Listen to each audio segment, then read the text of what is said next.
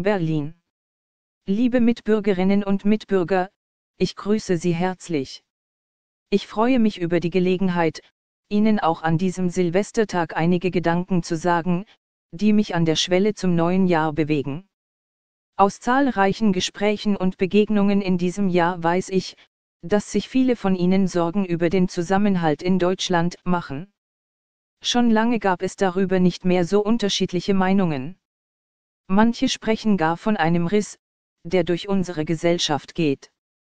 Die einen sagen, Deutschland ist ein wunderbares Land, in dem die Werte unseres Grundgesetzes gelebt werden. Ein Land, das stark und wirtschaftlich erfolgreich ist. In dem noch nie so viele Menschen Arbeit hatten wie heute. Ein Land mit einer weltoffenen und vielfältigen Gesellschaft, mit einem starken Zusammenhalt, in dem sich tagtäglich Millionen Menschen ehrenamtlich für andere engagieren, zum Beispiel im Sport, für Kranke und Schwache oder auch in der Flüchtlingshilfe. Die anderen sagen, es gibt so viele Menschen, die an diesem Erfolg nicht teilhaben. Die nicht mit dem Tempo unserer Zeit mitkommen. Die sehen, dass es ihre Kinder in die Großstädte zieht und sie allein bleiben, in Gebieten, in denen vom Einkauf bis zum Arztbesuch der Alltag immer schwieriger wird. Die sich sorgen, dass es zu viel Kriminalität und Gewalt gibt. Die sich fragen, wie wir die Zuwanderung in unser Land ordnen und steuern können. Beides sind Realitäten in unserem Land, der Erfolg und die Zuversicht, aber auch die Ängste und die Zweifel. Für mich ist beides Ansporn. Denn Sie, liebe Mitbürgerinnen und Mitbürger, haben uns Politikern den Auftrag gegeben, uns um die Herausforderungen der Zukunft zu kümmern und dabei die Bedürfnisse aller Bürgerinnen und Bürger im Auge zu haben. Diesem Auftrag fühle ich mich verpflichtet, auch und gerade bei der Arbeit daran, für Deutschland im neuen Jahr zügig eine stabile Regierung zu bilden. Denn die Welt wartet nicht auf uns. Wir müssen jetzt die Voraussetzungen dafür schaffen, dass es Deutschland auch in 10, 15 Jahren gut geht.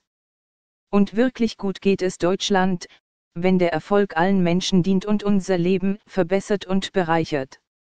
Dabei kann der Leitgedanke der sozialen Marktwirtschaft, dass wirtschaftlicher Erfolg und sozialer Zusammenhalt zwei Seiten einer Medaille sind, auch in der Zeit des digitalen Fortschritts unser Kompass sein.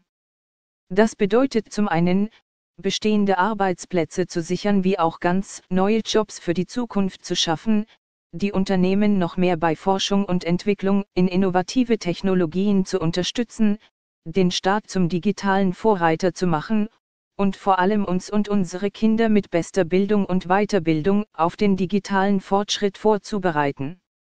Und das heißt zum anderen, die Familien in den Mittelpunkt zu stellen, sie finanziell zu entlasten, damit sie Familienleben und Beruf noch besser vereinbaren können, eine gute und würdevolle Pflege zu ermöglichen, indem wir die Pflegeberufe stärken und die Menschen, die ihre Angehörigen zu Hause pflegen, noch besser unterstützen, und nicht zuletzt für gleichwertige Lebensverhältnisse in allen Regionen unseres Landes zu sorgen, ganz gleich ob in der Stadt oder auf dem Land.